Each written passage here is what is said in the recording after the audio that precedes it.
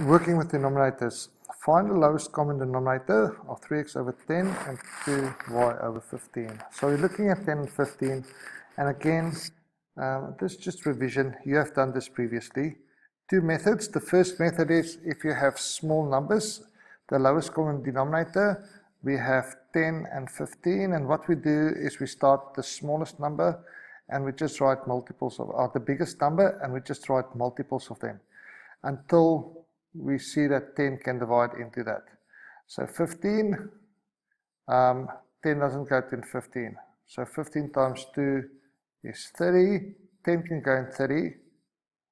All right, 10 can go into 30 because it's 10, 20, 30.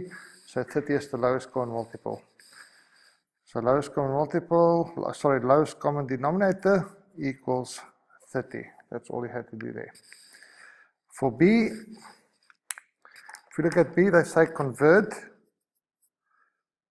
2x over 7 to an equivalent fraction with a denominator of 21. So we want to say this equals something over 21.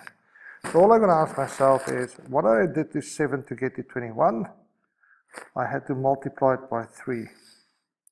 You also could have said, what is 21 divided by 7? And the answer would have been 3. So I'm going to multiply that by 3. If I multiply the denominator, I also have to multiply the numerator. And remember why? Because now I'm multiplying by 1, and that's why I get an equivalent fraction. 2x times 3 equals 6x, and that will be my equivalent fraction.